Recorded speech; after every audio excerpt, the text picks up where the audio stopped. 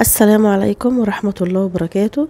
إزيكم جميعا؟ عاملين إيه؟ يا رب كلكم تكونوا بألف خير. تعالى اقولك على شوية حاجات كده أنا بعملها لما بيكون البيت داخله دور برد لأي فرد بقى فيه كبار صغيرين أنا بتعامل معاها إزاي وإزاي بعديها بسرعة. والحمد لله ما بتحتاجيش بقى فيها الأدوية كتيرة ولا علاجات كتيرة. أقول لك كده على شوية نصايح حلوة جدا هتفيدك إن شاء الله في بيتك. لو أنت جربتيها إن شاء الله مش هتحتاجي تاخدي أدوية كتير وهتعدي موضوع البرد ده على خير. أول حاجة كده خلي دايما عندك الأكل خفيف. يعني إيه؟ يعني بلاش بقى مسبكات بلاش بلاش طبخات بقى ودهون كتيرة والكلام ده. دور البرد ده بيبقى عايز اقلل حاجات علشان آه، معدتنا طبعا بتبقى تعبانة مش متحملة المسبكات والكلام ده كله. يعني دايما أقول لكم إن أكل خفيف زي إيه وهو ده اللي أنا بعتمده في اليوم وهو ده اللي أنا بطبخه أو مش بطبخه يعني هو ده اللي أنا بأكله لهم في اليوم سواء كبار بقى أو صغيرين.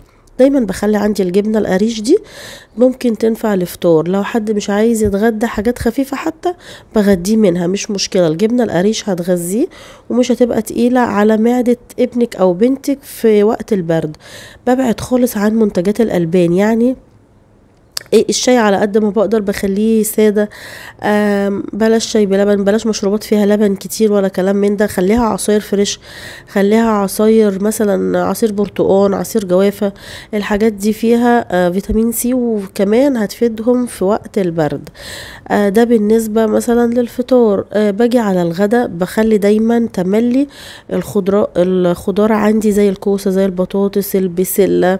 الفاصوليا الجزر الحاجات دي أول ما بحس بدور برد كده دخل البيت خلاص لا بخلي بقى الحاجات دي على طول باستمرار وبعمل يوميا بقى الشوربة بتاعه الخضار دي وعليها طبعا الليمون وبتبقى ده غداهم.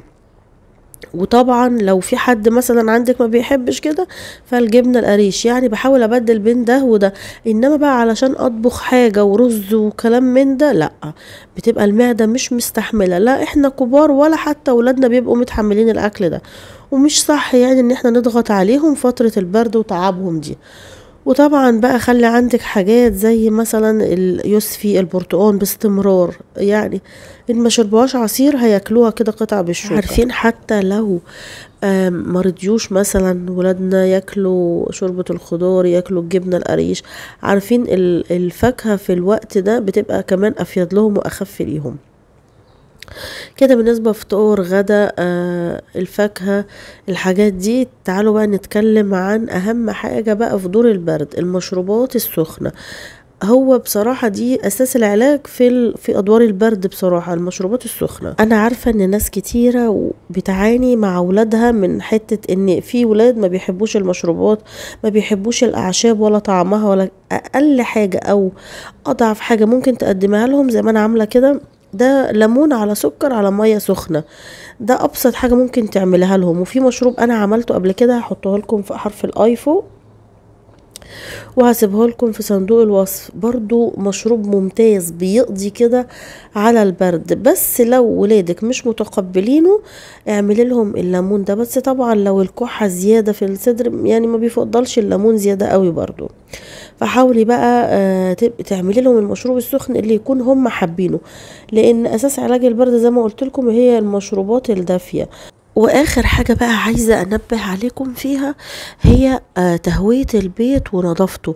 فترة البرد دي بتبقى فيها ميكروبة اللي دخلت البيت دي جوه البيت لازم تهوي البيت يوميا. لازم تحاولي كده تدخلي الشمس في بيتك علشان الميكروبة دي. يعني تتقتل وتطلع بره بيتك.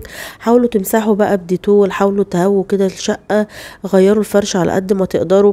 هنا دي مشتريات ملكمش دعوة بيها بس آه أنا كنت عايزة أقول لكم إن آه أنا بجيب إيه في الأدوية بتفضل عندي احتياطي؟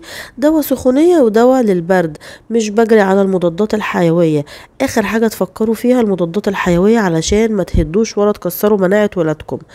بس كده ودي الأعشاب اللي أنا بخليها عندي اللي هي اسمها السيكم بتاعت ال- الصيدلية وكمان اليانسون وطبعا في أعشاب تانية بس هم دول اللي كانوا ناقصيني وكنت نزلت اشتريتهم.